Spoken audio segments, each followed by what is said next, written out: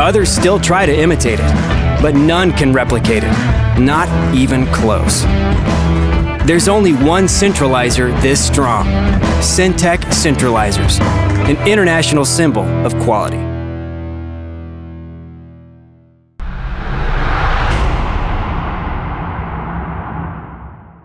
Energy FC dropped their second match of the IMG Suncoast Pro Classic here this afternoon, 1-0 against the New York Red Bulls. New York able to capitalize on a defensive breakdown early on and Manolo Sanchez scored the lone goal of the match in just the 10th minute.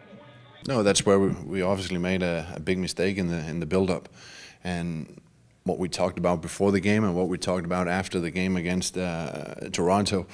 We got to make quick decisions because those guys will come after you. Uh, you don't have uh, two, three, four seconds on, on the ball. They'll be right at you and, and, and they're going to punish mistakes very hard, and that's what they did on the goal as well. Yeah, definitely. I mean, it's a little mistake at the back. Um, and um, again, good players and good teams they'll punish you on their mistakes, and that's what MLS players do. You know, uh, they obviously you know got some good players. Uh, you know, it might not have been quite their first team, but they still had a designated player playing, and I believe he's only got the assist and things like that. So, um, yeah, it was disappointing in that respect. Despite the loss, there are several positives to take away from this one as the team continues to work towards their March 28th USL season opener. I think the, the guys did an excellent job. Uh, I think there was improvement from, from last game. Our possession worked way better today. Uh, we created some very good chances in, in first half.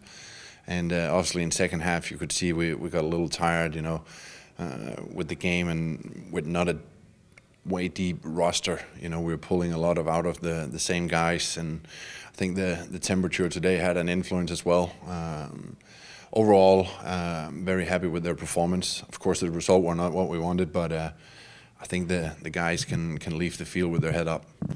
Well, I think we played a, a lot better than we did against Toronto. Um, New York didn't pressure us as much as Toronto did. Gave us a bit more room. Um, but then again, they, they punished us more than Toronto did. So um, it's sad, but 1 0, you know, okay game. Um, I think we did okay. Um, there's definitely some things we could have done better, um, but I think our possession was a lot better than the Toronto game. I think we held onto the ball a little bit better and maybe created a few more chances. Uh, defensively, I think we did well overall, you know, um, but uh, we can be a little bit more solid there positional wise. But uh, overall, I think there's plenty of positives to take from the game and playing as an MLS team and narrow defeat. Of course, we don't want to lose games, but uh, there's no, no shame in today's result. Energy FC is next in action on Wednesday afternoon against Danish team HB Køge. That game starts at 2.30 Eastern Time. Reporting from Bradenton, Florida, Carter Baum, Energy FC TV.